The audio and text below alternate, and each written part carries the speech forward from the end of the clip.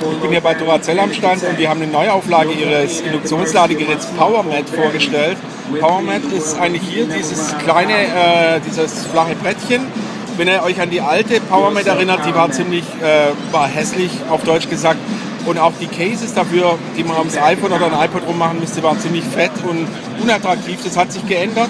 Die Cases sind deutlich schlanker geworden und sehen ganz elegant aus. Es gibt sie in verschiedenen Farben. Wir haben hier noch eins in Pink zum Beispiel, gibt schwarz und dergleichen. Der Trick dabei ist, wenn ich dieses Case rum habe, kann ich mein iPhone einfach da drauflegen und in dem Moment, wo es drauf liegt, hier auf so einem Punkt, wird es auch geladen. Ihr seht, der Ladestrom geht an, ich muss keine Kabelverbindung mehr machen. Weiteres Zubehör ist dieser Zusatzakku, der kleine, äh, den kann ich ebenso hier drauflegen, der wird hier geladen ohne Steckverbindung. Ich kann ihn in die Tasche stecken, mitnehmen und er hat dann hier seitlich, ähm, gucken ob ich es rauskriege, einmal Micro-USB und auf der anderen Seite einen Dockanschlussstecker. Also der hat 1850 mA, reicht dann eine iPhone-Ladung oder so.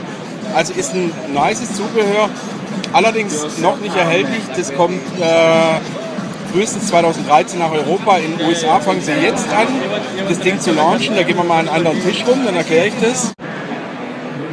Äh, starten wird es jetzt 2012 in den USA und zwar haben die Madison Square Garden in New York als ersten Partner diese große Veranstaltungsarena und dort wird auf den Bartischen quasi hier so eine, werden so kleine Ladestationen in, äh, integriert sein und wenn man dieses PowerMat Case mit hat, kann man sein iPhone da drauflegen.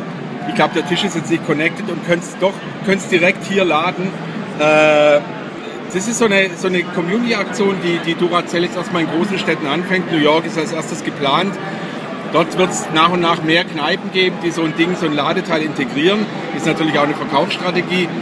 Äh, auf die Frage, wann das nach Deutschland, Europa kommt, hat sie gemeint 2013, wie gesagt, äh, plant mal Europa und Sie können sich vorstellen, zum Beispiel in Berlin damit anzufangen, äh, eben solche äh, Ladetische in Kneipen und dergleichen zu installieren.